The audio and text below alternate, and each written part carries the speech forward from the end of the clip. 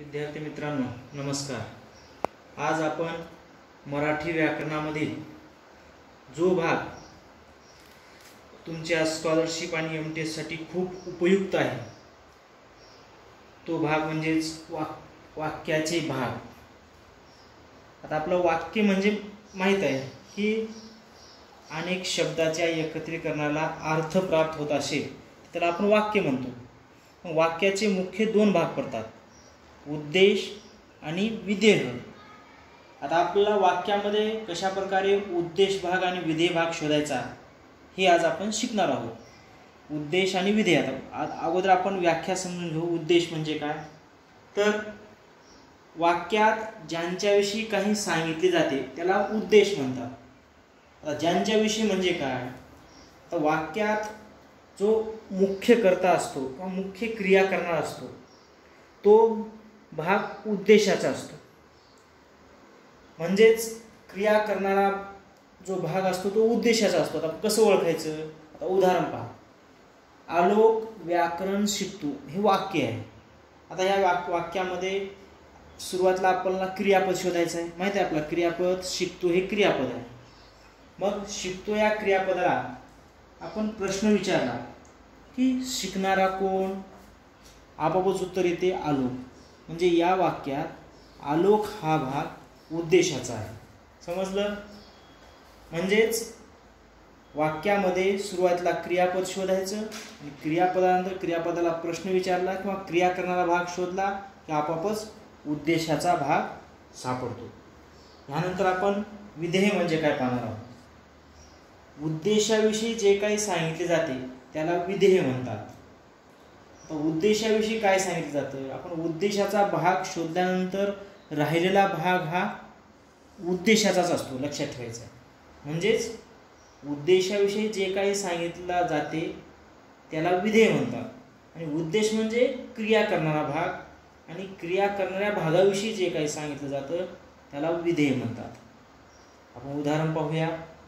माझी आई स्वयंपाक करते. आता या वाक्यात करते हे क्रियापद आहे. आता करणारी कोण? माझी आई. तर माझी आई हे काय आहे? उद्देशाचा भाग आहे. माझ्या आईविषयी जे काही सांगितलंय काय करते?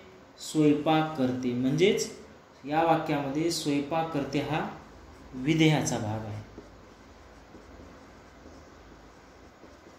समजलं ना विद्यार्थी मित्रांनो?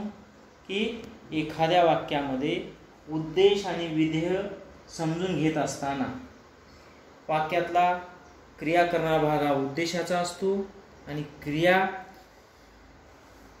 क्रिया करणाऱ्यावर अवलंबून असणारा भाग हा विधेयाचा असतो. आता आपण एक दुसरे एक उदाहरण पाहूया.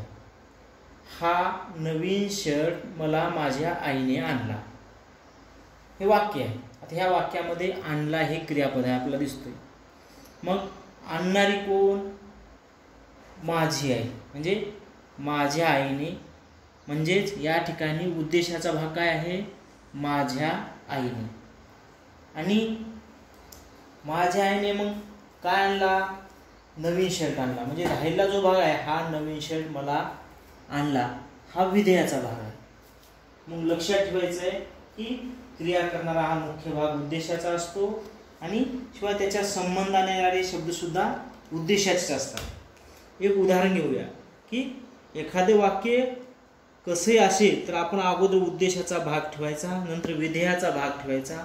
आपला ते वाक्य योग्य वाटत असेल तरच मग तो वाक्य असेल. नाहीतर मग ते वाक्य योग्य नाही किंवा काहीतरी चुकतंय असं आपण समजून घ्यायचं. म्हणून मग वाक्यामध्ये विधेय आणि उद्देश आणि विधेय समजून घेत असताना सगळ्यात महत्त्वाचं आहे क्रियापद क्रियापदाला प्रश्न विचारला शिकणारा कोण किंवा आणणारी कोण? जे उत्तर येते ते क्रिया करणारा भाग असतो आणि क्रिया करणाऱ्या भागाला उद्देश म्हणतात. फक्त क्रिया करणारा भाग हा एकच नसतो. त्याच्यासोबत येणारे शब्दसुद्धा क्रिया करणारे असतात. आणि त्यावर अवलंबून असणारे जे काही भाग असतो त्याला उद्देशाचा भाग असतात. मग ते उद्देशाच्या भागामध्येही जे काही शब्द येतात ते सगळे शब्द विधेयाचे असतात.